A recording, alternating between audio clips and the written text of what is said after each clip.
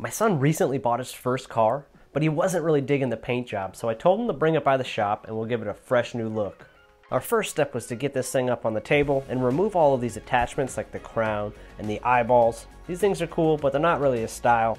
We removed any parts that we didn't want to get paint on. Then I patched up the holes where we removed the eyeballs from, put grocery bags around the wheels so that they wouldn't get paint on them, and we were ready to hit a coat of primer.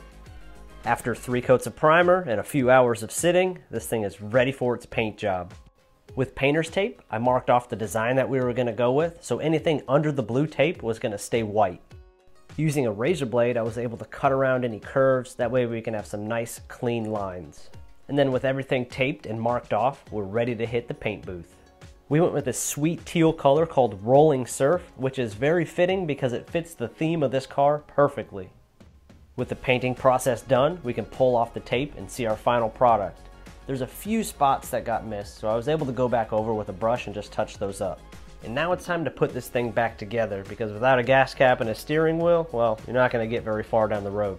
We used a quarter inch silver tape to help clean up all of our paint lines. This really adds to the detail and gives it a nice clean look. And if you haven't figured out what look we're going for yet by the paint job, here you go. And of course we want him to be legal while he's driving down the road, so we made him a custom license plate on the laser engraver. And I have to be honest, I'm a little bit surprised on how nice this thing turned out. But there's one final test that we have to go through to make sure that we did a good job. And yep, there we go. We got the Izzy seal of approval.